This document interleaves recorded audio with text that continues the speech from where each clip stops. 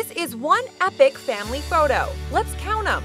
1, 2, 3, 4, 5, 6, 7, 8, 9, 17.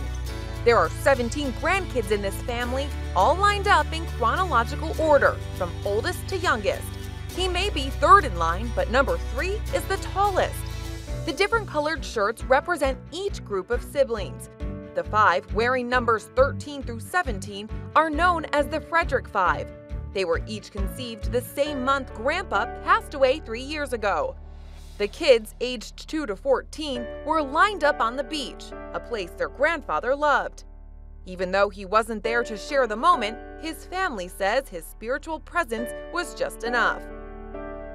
Be sure to watch Inside Edition.